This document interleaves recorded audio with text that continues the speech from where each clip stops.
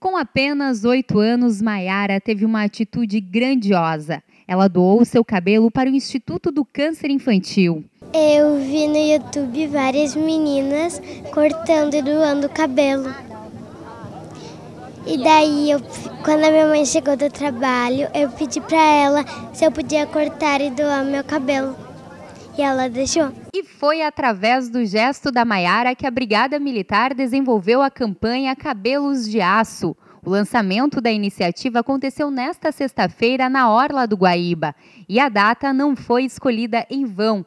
No Dia Internacional da Mulher, policiais militares femininas demonstraram mais uma vez a sua força e solidariedade. Um salão improvisado foi montado na beira da orla.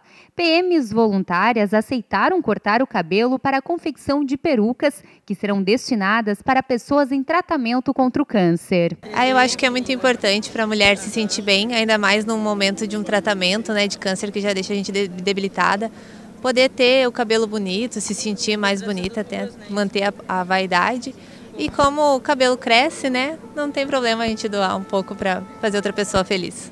Algumas mechas serão enviadas para o Instituto da Mama do Rio Grande do Sul, o IMAMA. Em primeiro lugar, a gente agradece muito ao Instituto da Mama pela parceria com a Brigada, que eu acho que é um trabalho maravilhoso. E realmente, as pacientes que estão precisando, passando pelo câncer de mama, elas precisam desse carinho. É necessário, no mínimo, 10 doações de 15 a 20 centímetros de cabelo, como este exemplo aqui, para a confecção de uma peruca. O cabelo deve estar limpo e seco ao natural. Você também pode fazer a sua doação. Nós, lá do Instituto da Mama, a gente tem um banco de perucas que a gente empresta para as mulheres o tempo que for necessário, sem custo nenhum.